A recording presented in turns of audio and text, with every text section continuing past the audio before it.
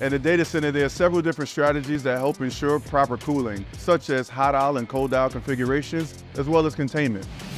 Hot aisle cold aisle configuration is another simple yet fundamental solution to ensuring proper cooling in the data center.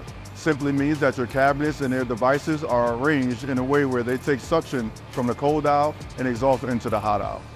This solution is called hot aisle containment. As the name implies, contains all the hot air inside the hot aisle, giving it a direct path back to the return air plenum, preventing mixing with the surrounding air. Solutions such as this one should increase efficiency upwards of 30%. This is another example of hot aisle containment, typically used for high dense deployments. Yet another strategy to ensure proper cooling in the data center.